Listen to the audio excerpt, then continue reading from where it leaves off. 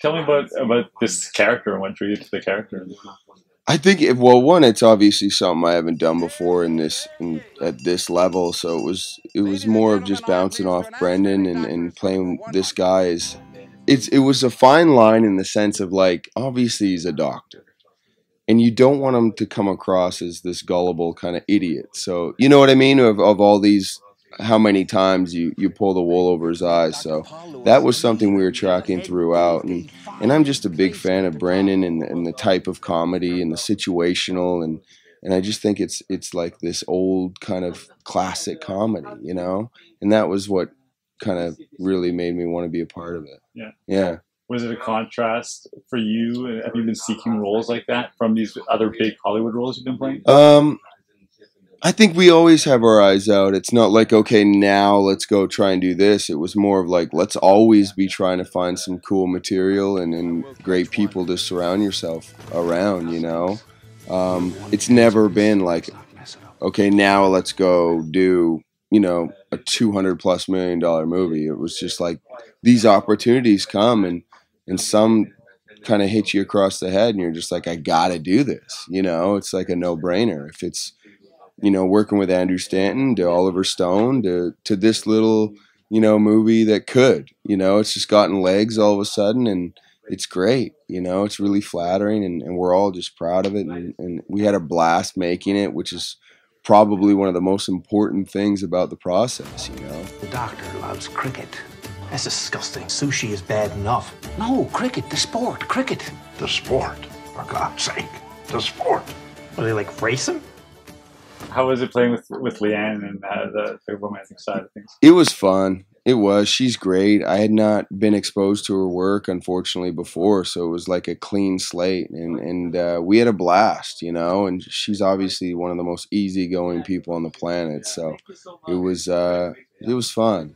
She's very engaging. which. Hi. So uh, I've been drinking. That's exactly what a girl wants to hear when a stranger knocks on her door in the middle of the night. It's not your stereotypical rom com or like he wins. Yeah, I guess he does win the girl, but it's not like we don't like flesh out that moment and be like you know put it on a silver platter for the audience, which I love and I appreciate that because it's just so easy to go there. It was a dream project for so many reasons. Working with Don McKellar, whose work I've admired for years, Brendan Gleeson and Taylor Kitsch, the script, having seen the original and loving it, working in Newfoundland and my character, which I really responded to. So it just everything, everything about it was wonderful. So it was easy. just say yes. What was it about the character that uh, that, that attracted you? Uh, she's a really independent and strong person, and she's the one person in town who doesn't go along with a seduction, which I found very interesting. She really stands by her beliefs, and you'll see when you see the film why she opposes the seduction, but she really stands true to what she believes in. And what was it that you loved about the movie in the first place? The original, the script, um, it's really heartwarming. It's a really wholesome, even though it's all based around a big lie. It's actually a very wholesome story, and it's a really nice tale about a community coming together to solve a big problem, which is unemployment, which is a theme everyone can relate to in this economy. Um, and there's so few movies about about communities really. There were no explosions in this movie. It wasn't like driven by action or special effects or superheroes. It was just a very human story about people who are facing hard times and coming up with a very creative way to solve their problems together.